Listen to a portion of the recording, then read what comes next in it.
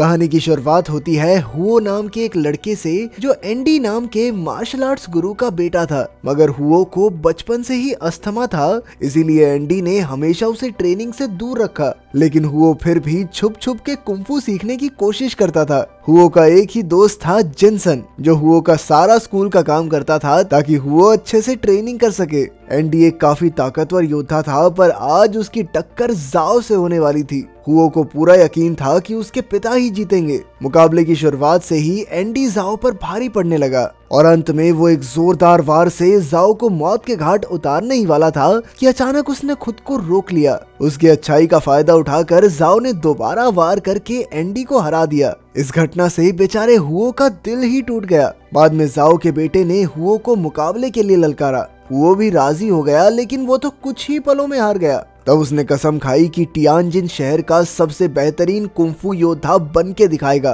फिर वो जिनसन के साथ अपने पिता की लाइब्रेरी में गया और वहाँ से मार्शल आर्ट्स की एक किताब चुरा ली। फिर उसने दिन रात कड़ी मेहनत करके उस किताब से पढ़कर ट्रेनिंग की। कुछ समय बाद उसने जाओ के बेटे को फिर से ललकारा, पर इस बार हुओ की बेहतरीन तैयारी के सामने वो भी नहीं टिक पाया। इस घटना के कई साल बाद हुओ अब मार्शल आर्ट्स का ज़बरदस्त योद्धा बन गया था। उसके पिता की मौत हो गई थी और अब वो अपनी माँ और छोटी बहन के साथ रहता था। अब तक हुओ न जाने कितने योद्धाओं को बड़ी आसानी से हरा चुका था। चारों ओर उसके चाहने वाले काफ़ी बढ़ गए थे, लेकिन इसी चक्कर में वो घमंडी होकर अपने पिता के उसूलों को भूल गया। अब वो बस शराब पी के मस्ती मारता था और साथ ही उसके स्टूडेंट भी उसकी देखा देखी बहुत बिगड़ गए। कई बार तो वो इतनी शराब पी लेता कि घर वापस लौटना ही भूल जाता। धीरे धीरे उसका सारा पैसा खत्म हो गया और वो कर्ज में डूबने लगा। पर वो अब भी ऐसे ही बेफिक्र घूम रहा था, मानो कुछ हुआ ही ना हो। एक शाम वो अपने दोस्त जिनसन के यहाँ गया, जो काफ़ी अमीर बिजनेसमैन बन गया था। और पास ही में उसका एक रेस्टोरेंट भी था। हमेशा की तरह हुओ ने खूब शराब पी और अपने स्टूडेंट्स को भी मुफ़्त का खाना खिलाया। तब जिनसन के नौकर ने उसे बताया कि हुओ ने पिछले एक साल से बिल नहीं भरा है। फिर रात को जिनसन ने हुओ को समझाया कि तुम्हारे चेले तुम्हारे साथ सिर्फ़ मुफ़्त की शराब और खाने के लिए हैं, पर हुओ को उसकी बात ठीक नहीं लगी और वो गुस्सा होकर वहाँ से चला गया। अगले दिन हुओ को अपना दुश्मन किन दिखा, जिसने अब तक अपने सभी ओपोनेंट्स को मात दी थी। अचानक उन दोनों के बीच बहस छिड़ गई, जिससे हुओ अंदर तक जल उठा। बाद में उसने अपना गुस्सा अपने स्टूडेंट्स पर उतारा। फिर रात को अचानक उसके एक स्टूडेंट को जख्मी हालत में उसके सामने लाया गया। पता चला कि उसकी ये हालत किन ने की थी। हुओ को लगा कि किन ने उससे बदला लेने के लिए ऐसा किया, और किन की इस हरकत से उसे बहुत गुस्सा आ रहा था। उधर जिनसन के रेस्टोरेंट में किन और उसका परिवार उसका जन्मदिन मना रहे थे। तभी अचानक हुओ अपने आदमियों के साथ वहाँ घुस आया और पास के ही एक टेबल पर शराब पीने लगा। किन ने उसे आज रात के लिए दुश्मनी परे रखने को कहा क्योंकि वो लड़ना नहीं चाहता था। लेकिन हुओ ने उसकी एक न सुनी। जिनसन ने भी उसे रोकने की कोशिश की, पर हुओ ने गुस्से में उससे भी अपनी बचपन की दोस्ती तोड़ डाली। फिर उसने किन को मुकाबले के लिए ललकारा और कहा कि अगर वो नहीं लड़ा तो उसे हुओ के सामने नाक रगड़नी होगी। उसकी ये बात सुनते ही किन को छोड़कर बाकी सब रेस्टोरेंट से बाहर निकल गए। फिर उन दोनों के बीच ज़बरदस्त लड़ाई हुई, जिसमें दोनों एक दूसरे को बराबर की टक्कर दे रहे थे। आखिरकार गुस्से में हुओ ने बेईमानी की और किन की छाती पर ऐसा जोरदार वार किया जिससे उसकी मौके पर ही मौत हो गई। बाद में जब हुओ अपने घर पहुँचा तो उसने देखा कि बिस्तर पर उसकी माँ की लाश पड़ी थी।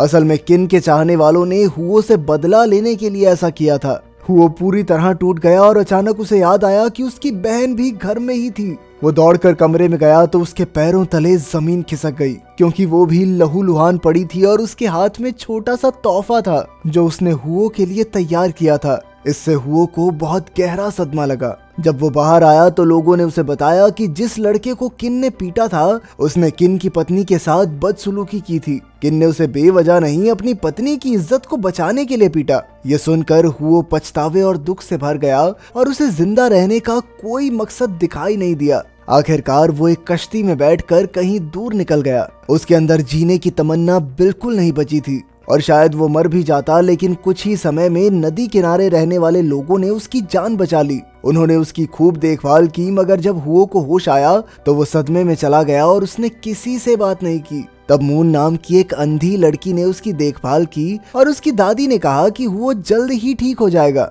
फिर एक दिन मून ने हुओ के बाल छुए जो काफ़ी लंबे हो गए थे। वो उसे बिस्तर से उठाकर नदी में ले आई और उसके बाल काटने में मदद की। उस दिन से हुओ इस कबीले का हिस्सा बन गया। वो उन्हें खाना बनाने, खेती करने और घर के कामों में मदद करता। धीरे धीरे एक साल बीत गया और मून और हुओ एक दूसरे से प्यार करने लगे। फिर एक दिन उनके कबीले का एक बच्चा दूसरे कबीले की गाय चुराता पकड़ा गया। मून और उसकी दादी ने दुश्मन कबीले के सरदार से माफ़ी भी मांगी। मगर उनके उसूलों के हिसाब से जो भी ऐसी गलती करेगा, उसे एक अगरबत्ती के जलने तक पीटा जाता था। तब हुओ सामने आया और कहा कि इस बच्चे के बदले वो मार खाने के लिए तैयार है, लेकिन बड़ों के लिए गलती की सजा अलग थी। इसीलिए अब हुओ को कबीले के सरदार से मुकाबला करना होगा। वैसे तो उसे हराना हुओ के बाएँ हाथ का खेल था, मगर वो अपनी काबिलियत से किसी को नुकसान नहीं पहुंचाना चाहता था। पहले तो वो पिटता रहा, पर जब दादी ने उसे अपनी हिफाजत करने का हौसला दिया तो वो उठ खड़ा हुआ। आखिरकार अगरबत्ती बुझ गई, पर उसका विरोध ही उसे हाथ तक नहीं लगा पाया। अंत में उसने हार स्वीकार की और हुओ की खूब वाहवाही हुई। अगले दिन हुओ, मून और कुछ बच्चे खेत में बैठे थे, और अचानक से बच्चे कहने लगे कि वो हुओ से कुंफू सीखना चाहते हैं। मगर हुओ ने ऐसा करने से साफ़ इनकार कर दिया, क्योंकि वो इस गाँव की शांति को भंग नहीं करना चाहता था। फिर एक दिन मून अपने माँ बाप की कब्र पर गई तो हुओ को भी अपने माँ बाप और बहन की याद आई, जिन्हें उसने कभी मुड़कर भी नहीं देखा था। अब उसकी मानसिक हालत ठीक थी, इसीलिए उसने अपने शहर वापस जाकर उनकी कब्र पर श्रद्धांजलि देने का फैसला किया। जब उसने मून को ये बात बताई तो उसने तो बहुत खुश होकर कहा कि हाँ तुम्हें ज़रूर जाना चाहिए। हुओ ने उससे वादा किया कि वो जल्द से जल्द लौटेगा। इसके बाद हुओ अपने शहर टियानजिन पहुँचा, जो पहले से काफ़ी बदल चुका था। राजा के मरने के बाद से कई देशों ने चाइना पर हमला करके कई हिस्सों पर कब्जा कर लिया था। खैर, हुओ सबसे पहले अपने घर गया, जो एकदम खंडर बन चुका था। उनके पुराने नौकर लाइफू ने उसका स्वागत किया। उसने घर की हिफाजत करने की पूरी कोशिश की, मगर हुओ के जाने के बाद कई लोगों ने पैसों के चक्कर में घर को तहस नहस कर दिया। आखिरकार हुओ अपने पिता की कब्र पर पहुँचा और उनसे माफ़ी मांगी। अब उसे समझ आ गया था कि इतने साल पहले उसके पिता ने अपने विरोधी की जान क्यों नहीं ली।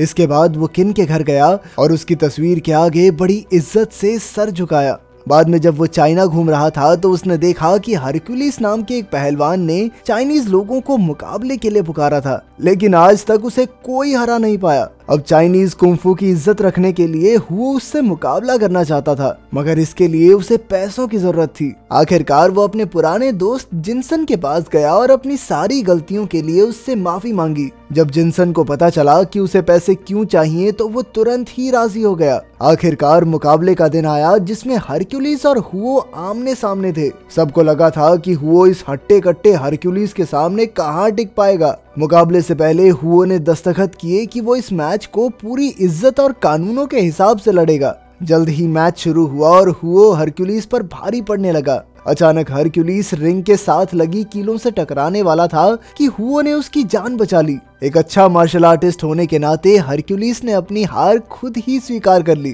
तो अपना हुओ जीत गया। जल्द ही हुओ बहुत मशहूर हो गया और उसे शांघाई बुलाया गया। वहाँ जिनसन ने उसके साथ एक अकेडमी खोलने का सोचा जिसमें बच्चों को कुंफू सिखाया जाएगा। इस तरह उनके देशवासी फिरंगियों के खिलाफ एकजुट हो सकेंगे। उधर फिरंगी ऑफिसर्स हुओ की बढ़ती मशहूरी को देखकर जल रहे थे। उन्हें डर था कि चाइनीज़ लोग फिरंगियों के खिलाफ न हो जाएँ। इसीलिए उन्होंने हुओ को हराने की तरकीब लगाई। उन्होंने एक ही दिन में हुओ के चार मुकाबले रखे ताकि वो हार जाए। जब हुओ को इसकी खबर मिली तो वो समझ गया कि ये उसे हराने की एक साजिश है। लेकिन फिर भी वो उन मुकाबलों को लड़ने के लिए तैयार हो गया। मुकाबले से एक दिन पहले वो अपने विरोधी तनाका से मिला, जो जापानी चैंपियन था। जल्द ही वो दोनों अच्छे दोस्त बन गए, क्योंकि तनाका भी हुओ की तरह एक सच्चा और ईमानदार योद्धा था। आखिरकार मुकाबले के दिन हुओ का सामना दुनिया भर के तीन सबसे ज़्यादा ताकतवर खिलाड़ियों से हुआ, लेकिन कोई भी उसके सामने दो मिनट से ज़्यादा नहीं टिक सका।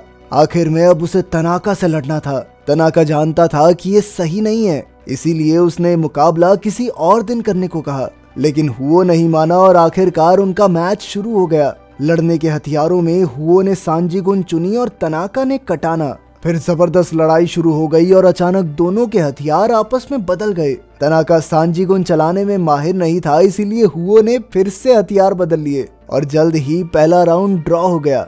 अगले राउंड से पहले हुओ ने चाय पी, मगर वो नहीं जानता था कि फिरंगी ऑफिसर्स ने इसमें जहर मिला दिया था। क्योंकि वो किसी भी हद तक गिर कर उसे हराना चाहते थे।